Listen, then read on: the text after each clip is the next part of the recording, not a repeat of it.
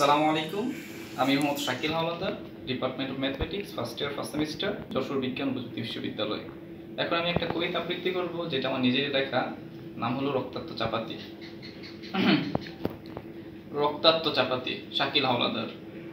রক্তাক্ত চাপাতি পড়ে আছে রাস্তার ঘাসে। পাশে ক্ষত বিক্ষত লাশ অনুতে ধরে আধা ভাঙা চশমা রক্ত ভেজা রুমাল। এক হাত নেই দিয়ে অনবরত রক্ত পড়ছে।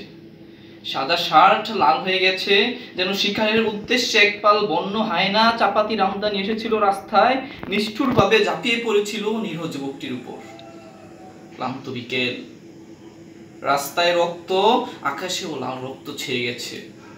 লোকে লোকারণ্য। সবার চোখ নিবদ্ধ। লাস্টের দিকে ক্ষত বিক্ষত। চাপাতির আঘাতে শত শত ছিদ্রের মধ্য দিয়ে রক্ত বের হচ্ছে অনবরত। অলস বিকেল ঝিমিয়ে পড়েছে। সন্ধ্যা তার নিকশ কালো চাদর ছড়িয়ে দিয়েছে চারদিকে। খুব দূর থেকে কাকের আর্তনাদ আর শিয়ালের ভয়ঙ্কর কান্নার চিৎকার শোনা যাচ্ছে।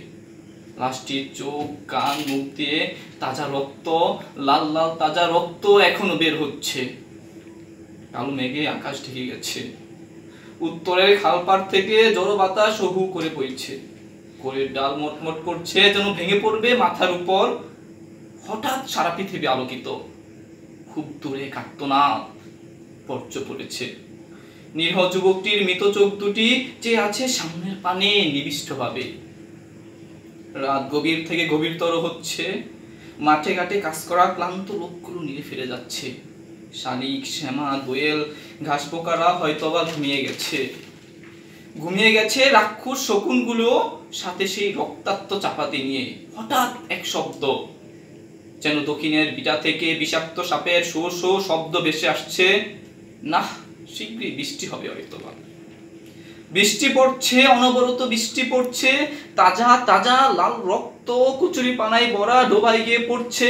নিহ যুবকটির নিথর দেহ পড়ে আছে রাস্তার এক পাশে আর তা দেখে বাংলার আকাশ অনবরত অশ্রু জড়াচ্ছে।